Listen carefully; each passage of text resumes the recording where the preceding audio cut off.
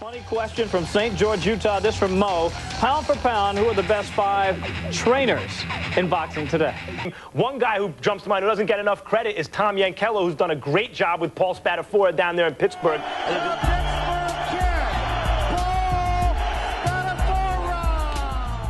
I mean, he's a great trainer. I mean, he helped me win a world title. I had, I had the title for five years. And uh, he works with all the kids down there. He puts in all that hard work.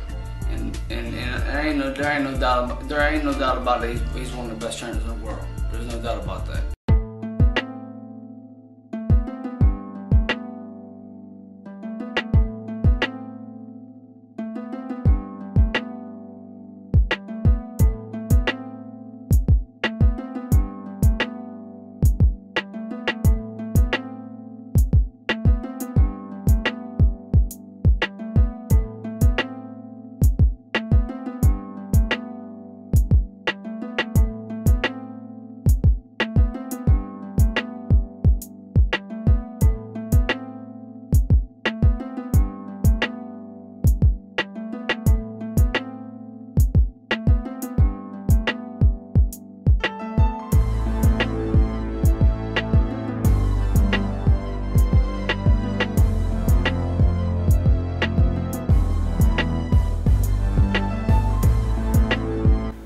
Today's video, I'm going to show you how to incorporate several defenses into your shadow boxing.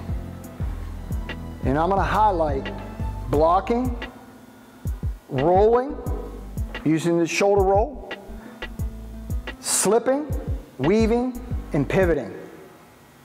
And I've done videos on these defenses.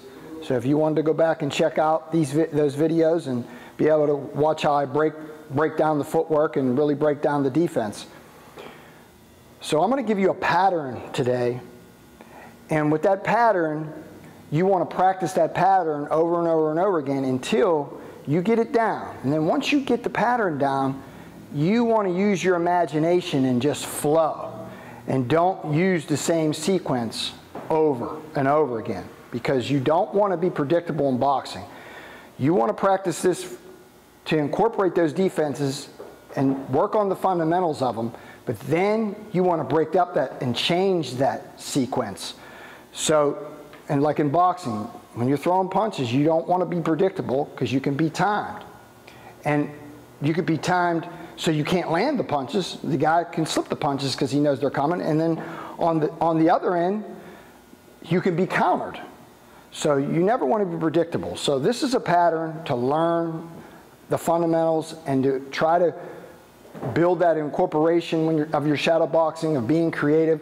And then again, like I said, you want to use your imagination and break it up and flow with it. What we're going to start off today is I'm going to show you blocking first, okay? We're going to go with two blocks, okay? The first block, we're going to imagine that the guy is throwing a right hand at me, okay? I'm going to imagine the guy's throwing a right hand at me. So I'm going to go and I'm going to block it. Now the proper way to block that, like I said all the time, I always tell you, don't bring your hands way up. Okay? Your elbows are in. What I want to do is I always want to make myself a smaller target. I want to make you want to make yourself small in boxing. That's how you close openings, okay? So when I go to block that shot, my hands are here, okay? They're going to be underneath. They're going to be, you know, at cheek level or like I said, a little bit above shoulder level. And then I, what I want to do is I want to, when I go to block, go down. Don't come up, go down. And that puts, gets your legs involved. Now you're going to be able to come back with a right hand with power and a left hook because you got your whole body, synchronizing your whole body into your block. So the block, you're going to block and your left eye is going to be down the inside of your hand. If you had gloves on, inside the, inside the glove. When I, now, my next block, I'm going to block, I would be blocking a guy's hook. I'm going to take my chin away, one eye. I'm going to take my chin away from the oncoming hook my right eye is going to be on the inside of the glove, okay?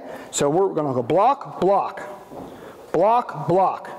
If we pick the hand up, it's just a little bit, but we're going down, so we're closing all of that. We'll be able to protect this and our whole face, okay?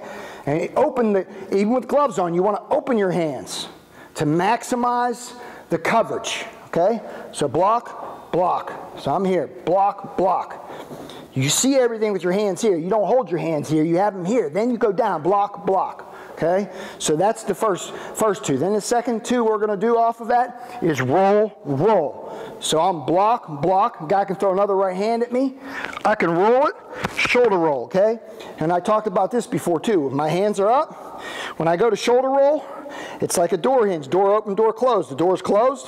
When I shoulder roll, the door hinge opens, and I open the door and I use my shoulder to block. Hands in here, okay? And what I'm doing is I'm making the guy extend.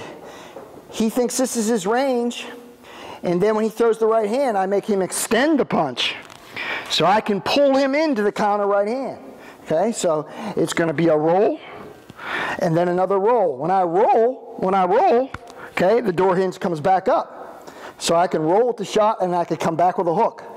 And the hook's going to be right here. It's not going to be from here. When I throw the right hand, I'm not going to throw the hook from here. So you're block, block, roll, roll. Then from there, okay, we're going to work on slip, slip. But when I slip, I'm going to make an angle. When I slip, I take my left foot to the left and up a little bit. Because why am I doing that? Because if I, eh, in my imagination, the guy's throwing a right hand at me, and I slip the right hand. When I slip the right hand, he could be coming back. What's natural when a guy throws a right hand? Throws a right hand, he's going to come. A lot of times, he's going to come back with the hook. Okay, so I'm doing two things. I'm going to create an ankle to get away from the oncoming hook. That's number one. I'm stepping, stepping over and up. Okay, so now if, if the if the oncoming hook was coming, it would go behind me. I would be I would be on the inside of the hook, and I would be away from the hook. Because right here, the hook's coming, I'm here. When I step here, now the hook goes behind me, and I get on the inside, and then I'm going away from the hook by going to the left. So I'm doing two things. I'm going away from the hook, and I'm going on the inside of the hook. Okay, and I could come back with my own hook. When I slip, I'm going to step over and up and my footwork's going to be left foot goes, right foot can turn to set my, myself up for a hook on the ball of my foot.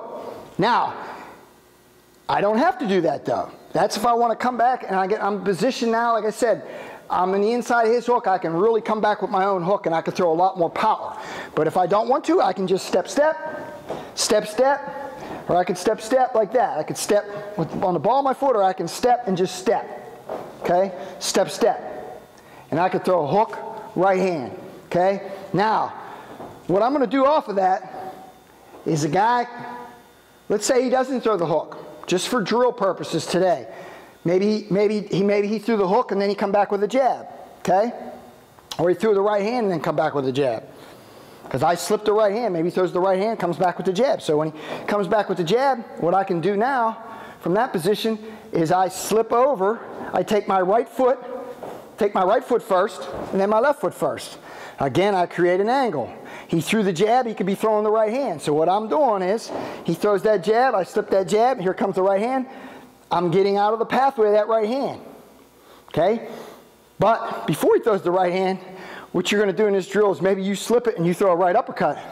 You throw a right uppercut. So what we're looking at, let me go break it down again. So we're going to go block, block, roll, roll, okay? Then from there, slip, slip. Okay?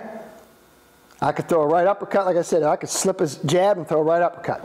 But we could just, for drill purposes, like I said, we'll go back to block, block, roll, roll, slip, slip. We're making angles, right? Now, we're going to weave. Weave, angle. I step up and over again. Over to the left. Now, weave, Step back over. Right foot goes first, left foot comes second. Okay? Then from there, pivot. Pivot. Okay? So the drill, the drill without any punches. Block, block, roll, roll, slip, slip, weave, weave, pivot, pivot.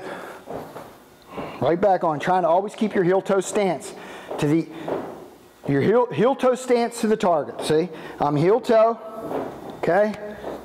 block, block. Again, like I said, I go down, not up.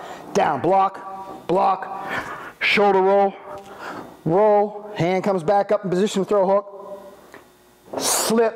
So I step up and over, slip, I step to the right, okay?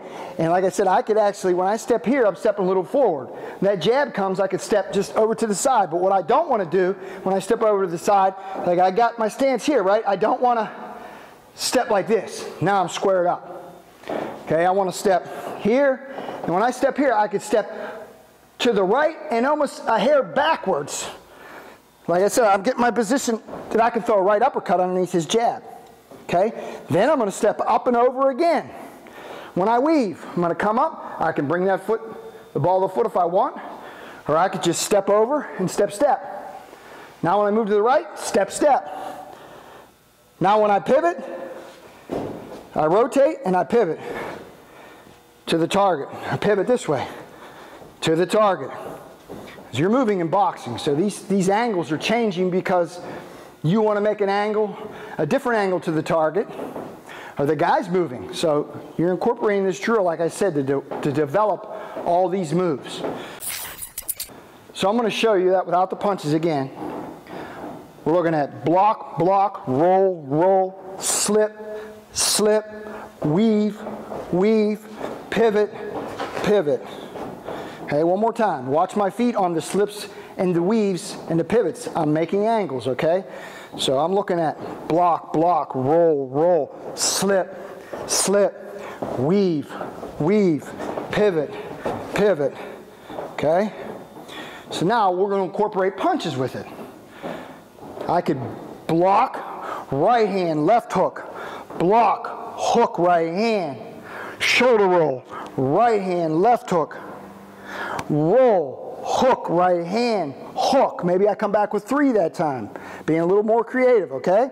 Throws the right hand at me, slip, hook to the body, hook to the head, right hand. I move my feet, I step up, over, up and over a little bit.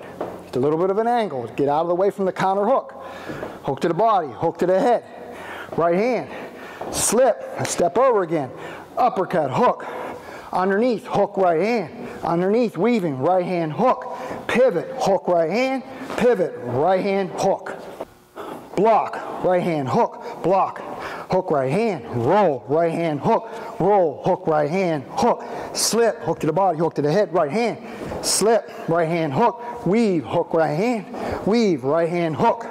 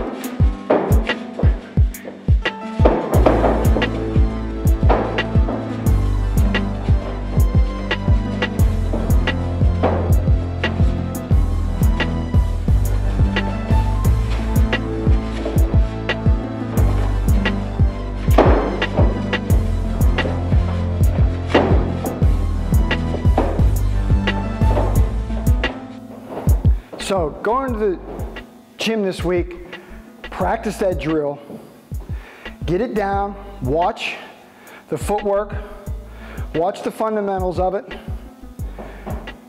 Doesn't matter how long it takes, you can practice this drill for weeks. And once you get it down, all the footwork and the fundamentals, then you let your imagination flow and take it and just try to always do something different with it, with those defenses all incorporated. If you watch when I'm shadow boxing, you can see how I start to change it up. Sometimes I just slip without throwing a punch. Sometimes I slip and I throw a punch. So I'm constantly being unpredictable and I'm changing my movements. So nothing is a set pattern to be able to be timed or countered. Let me know how you like the video. Comment below don't forget to like, share, and subscribe, and I'll see you guys next time.